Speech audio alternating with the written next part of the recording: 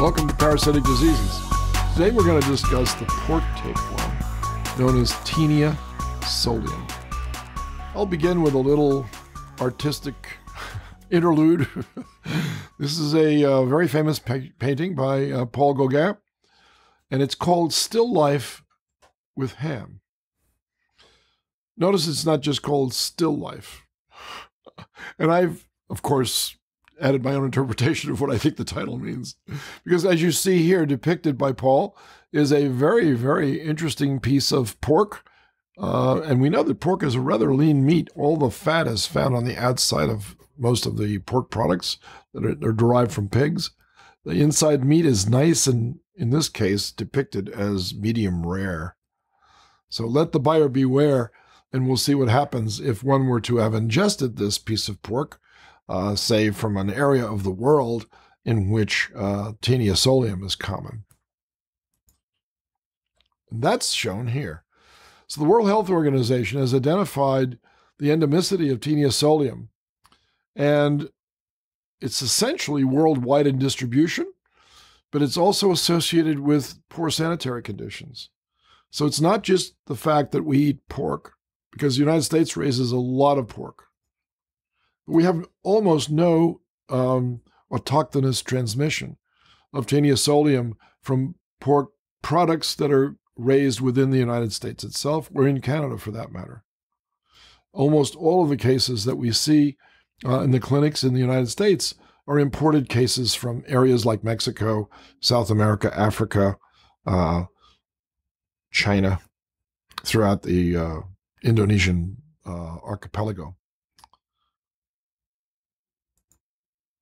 Now, the history of the discovery of this parasite is a little bit different than the one for Taenia saginata, and it involves two discoveries. One uh, in the 1600s by Hartmann, who noticed that much of the pork that was being consumed locally had these little white flecks in them. And with a hand lens, he was actually able to see some kinds of structures inside, but had no idea of what he was looking at. Some 200 years later, in 1861, Küchenmeister in Germany decided to find out what these little white flecks actually were. Now, the story is rather macabre, but I will give you the, uh, the essentials of what Küchenmeister became famous for. Um, he surmised that tapeworms were derived from eating contaminated pork. He was fairly sure that the stage that resulted in the adult tapeworm came from these little white flecks in the meat. And in order to confirm that, he um, did the following experiment. And I'm using quotes here because it's probable that those experiments could never be done again. Uh, what he did was he went to the local jail and he determined that there was a prisoner who was due for execution about a month and a half uh, from the time he visited the prison. And he got permission from the um, authorities and from the prisoner himself to do the following. He obtained some pork with the little white flecks in them, and every week he fed a little bit of it to the prisoner. And then a month and a half later, of course, the prisoner was executed. And then Küchenmeister dissected the gut tract of the prisoner and was able to line up the size of the worms, which resulted from eating those little white flecks, and correlated them with each week in which he fed them to the prisoner. So the longest ones were the ones he fed first. The next longest were the ones he fed the next week, the next week, and the next week. And so, as you can see, he's his portrait here um, is reminiscent of another one I've seen uh, from a well known play that a lot of you might be familiar with. Uh, the, play is Sweeney Todd. So I, I realize that there's some um, dark humor associated with all this also. But at any rate, Küchenmeister proved once and for all that these little white flecks were indeed cysticerci, and the cysticerci resulted in adult tapeworms. And so here's the adult tapeworm. Again, the scolex of this worm is rather small, as shown here by the white arrow. And all of this worm was generated from this one little neck region over a three to four month period. The scolex of Taenia solium is a little bit different than that of Taenia saginata. We have four suckers, just like Taenia saginata, but in addition to that, we have what's called a rostellum with hooks. So this worm can really grab onto the host. Now, whether this worm actually grabs on and, and does the behavior that I described before as the meal passes down the small intestine, does the parasite then release and go follow the rest of the meal until it reaches a certain point? of physiological disturbance and then migrate right back up to where it was before to wait for the next meal, or does it just stay put? We don't know the answer to that. Here's an example of a gravid proglottid for Taenia solium. It's got a very different morphology than the gravid proglottids for Taenia saginata, and indeed, uh, this is the way in which you make the diagnosis between those two tapeworms. Again, the egg, however, cannot be distinguished, so that's the same picture that I showed before for Taenia saginata, I feel comfortable doing that because I know that even if I had eggs from these two different proglottids and put them together, you wouldn't be able to tell them apart. Now, the life cycle of Taenia solium is very, very similar to the life cycle of Taenia saginata in terms of the overall scheme. It begins with us ingesting a portion of infected pork which contain these larval stages called cysticerci. So each cysticercus has the potential for developing into an adult tapeworm after being ingested by a human host. The meat is digested in the stomach, releasing these larvae. The larva then goes to the small intestine. The scolex evaginates from this larval stage and immediately attaches to the small intestinal wall, using its hooklets and suckers to do so and in three or four months generates the entire length of the worm. And if I didn't tell you that this was Taenia saginata, which I have already done, and instead I tell you that it's Taenia solium, you wouldn't be able to tell it apart from a gross specimen as what you see here. Both worms look similar. Both worms achieve approximately 20 to 25 feet in the host if allowed to go without being treated. And so they're both very large worms indeed. The gravid proglottids break off and they contaminate the pig's environment through human feces. And because animal husbandry with pigs is much more common throughout the world than animal husbandry for cattle, which require far more space, cattle are um, a rather challenging animal to raise for food, whereas pigs will actually live off the scraps of food that we create by our own uh, behavior so that we can raise pigs quite comfortably next to where we, where you also live. In many cultures, the pigs actually are considered part of the family, of course, with one major exception, and that is uh, what happens to the pig. Um, so the biology is is straightforward. Uh, just to reiterate, the cysticercus is eaten develops to an adult. The adult produces gravid proglottids. The gravid proglottids are passed in the feces and contaminate the food of the pig, which then acquires the cysticerci throughout the tissue, and that reiterates the life cycle. This is a very common scene throughout the world. Here's a, just an up close uh, picture of a piece of muscle tissue and the cysticercus inside. But just like Taenia saginata, the adult of Taenia solium causes no cellular or molecular pathogenesis. There is no uh, ill effects from harboring an adult tapeworm of either species. Same is true for clinical disease, but again, there may be some psychological effects of knowing that you harbor a 20 foot worm inside your gut tract. And now Dr. Daniel Griffin is going to give a clinical vignette illustrating the pathogenesis of this infection. We have an 18 year old Islamic college student living in the student dormitories at a school in the Tamil Nadu region of southern India. He's eating most of his meals in the dormitory. These meals are prepared by a Hindu local couple that lives in the dorm, sort of dorm parents, you could think of them. This college student reports that he has developed a lump in his right neck. This has developed over several months. He feels well. The lump is not painful. He's just concerned what could this possibly be. Uh, a little background on this individual. He was born in India, raised in a Muslim family. He's an observant Muslim, uh, praying multiple times per day, observing the traditions of his religion. Um, now, on exam, he has a two centimeter firm, non tender lump that is, is in, I mean, I clearly felt this in the anterior portion of the sternocleidomastoid muscle. All right, let's talk a little bit about clinical disease. Um, gastrointestinal infection with adults. So patients are usually asymptomatic and do not become aware of this infection until they discover the proglottids in the stool, right? So these are the adults in the intestine.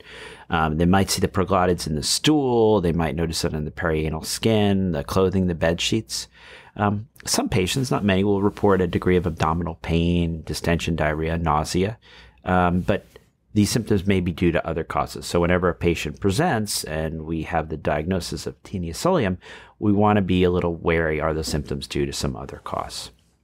Another clinical manifestation is invasive disease with juveniles. Um, and this has two major clinical presentations. And these are the presentations that we as clinicians worry most about. There can be extraneural, so it can be um, in the subcutaneous tissue, it can be in the muscles. So this is extraneural cysticercosis, or it can actually be in the um, in the nervous system. So we call neurocysticercosis. The invasive disease is discussed a little further um, in the lecture on infection with juvenile tapeworms, just to make a note there. Now let's talk about diagnosis. Uh, microscopy. If you look under the microscope, this is very similar to Taenia saginata. Uh, you can actually see gravid proglottids. You can inject them with India ink, or you can stain them with hematoxylin eosin, and you can actually see um, branches on either side of, of, the uterine branches. So uh, the T solium has less than 12, so less branches on either side of the uterus than you might see with um, saginata. The eggs as well. The eggs can also be found in the stool, um, or they might be right around the anus. Um, so you can find them either way. Now, the distinction here, visually under the microscope, they look the same, except the T solium eggs are not acid fast. They don't have an acid fast shell. So if you do acid fast staining, there's a distinction here to be made. Um, so there's a slight difference, even though you can't visually see it. Um, as mentioned, um, the fact that there are some on the anus, the paddle test or sticky tape test, um, can actually apply this to the perianal area, and uh, there may be some eggs that remain there and can be obtained and evaluated uh, macroscopically. There are multiplex uh, nucleic acid amplification uh, screening tests that are available. These have high sensitivities, and they actually can make a distinction between the T solium and the T saginata. Um, there also are directed PCR as well as um, loop mediated isothermal amplification tests. Um, there also is an ELISA test, and this can allow you to uh, distinguish antigens. So you can detect T saginata antigens or T solium antigens, copro antigens. Um, as far as diagnostic tests, here just to run through, is very similar to what we did with T saginata. You can find the eggs, you can count the uterine branches on each side, less than 12. We can do our paddle test. We can do our thermocycler, so our nucleic and acid amplification testing, or we can look for the specific antigens in the stool. What about treatment? So again, this is going to be um, if we're looking at intestinal disease, we want a luminal agent, so praziquantel can be given in a single dose. We also have the option here, particularly if we're worried about invasive disease, of adding albendazole uh, with or without praziquantel. And depending on the location, uh, steroids are sometimes added to treat the degree of inflammation that we might see. The drug of choice we see here, praziquantel, uh, with a mode of action where it interferes with the invertebrate calcium ion channels. What about our patient? Now, interesting enough, our patient um, had this lesion and it was in the in the muscle. And when we did an ultrasound, we saw that this was a cyst, and it had a small central density that was extending out from one of the walls. Um, this was diagnosed as um, extraneural cysticercosis. Uh, the patient had brain imaging prior to treatment to make sure that there wasn't going to be um, any sort of response in the brain to inflammation. Um, they went ahead and they tested the Hindu couple. And so the Hindu couple was tested. One of them was found to have intestinal Taenia solium. Uh, so the person with the intestinal Taenia solium was treated with praziquantel. So that's your gastrointestinal infection.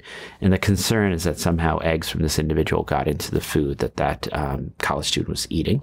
The student was actually treated with praziquantel and albendazole after the brain imaging showed no lesions. So the praziquantel albendazole here is not going to be focused on just luminal disease, but is going to actually um, do well at penetrating. Um, and this this individual did quite well. Let's talk about prevention and control. Preventing and controlling infection with Taenia saginata and Taenia solium is the same. Disposal, proper disposal of feces by a modern uh, treatment facility or a not so modern um, outhouse is equally effective in controlling the spread of this disease. Again, we can also practice good sanitary practices on pig farms and in most areas of the um, more developed world, let's say throughout Europe and the United States, Canada, some portions of, of other countries as well. Um, human feces could never come in contact with pig food, and therefore the pigs could not acquire this infection. But in other situations, of course, where the intimacy of people living next to their pigs is high, then obviously there, there is the chance for pigs eating the eggs, the eggs hatching in the small intestine of the pig, the larva inside the egg then migrates into the blood of the pig and is distributed throughout the body, establishing cysticerci wherever they stop their migration. An example of that meat is shown here. Each one of these is a cysticercus that resulted from the ingestion of multiple eggs. And remember, each one of these gravid proglottids contain, contains over a thousand eggs each. And as a result, uh, there could be many cysticerci in the tissue of an animal, even if it only ate one proglottid. Federal meat inspection also stops the infection at that point by identifying animals that are infected and discarding them, thereby, thereby preventing the meat from reaching consumers. The reason why we're pausing here is that I want to back up a moment and just discuss what would happen if a person were to eat an egg of Taenia saginata, what would be the consequences? And the answer is there wouldn't be any. And there's a good reason for that. And that is that this tapeworm has evolved to become the parasite of both humans and cattle. And cattle have a different arrangement to their digestive tract than we do. And as the result, the environmental cues that stimulates the egg of Taenia saginata to hatch is given off by passage through these three stomachs of the cow. They don't hatch until they've gone through all three. However, if you ingest the egg of Taenia solium, that egg will hatch in our small intestines as it does in the small intestine of the pig. Because I know this might be upsetting to some of you to learn that there is very little difference between the digestive tract of a pig and the digestive tract of a human. In fact, it's so similar that the egg of Taenia saginata can tell the difference, but the egg of Taenia solium cannot. The egg of Taenia saginata will not infect pigs. So those those that's the difference. So what is the consequence? What is the clinical consequence of humans being exposed to the eggs of Taenia solium? What happens next? So the next time we're going to discuss juvenile tapeworm infections. Some of these have very serious medical consequences. Thank you for listening.